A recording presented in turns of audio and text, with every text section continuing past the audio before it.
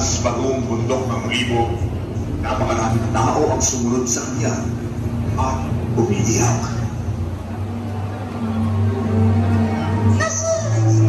Kamuha ka naman! Wala akong kasalanan.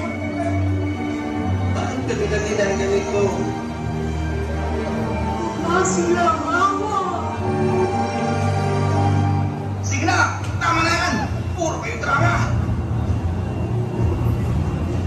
Kayong magagawa pa.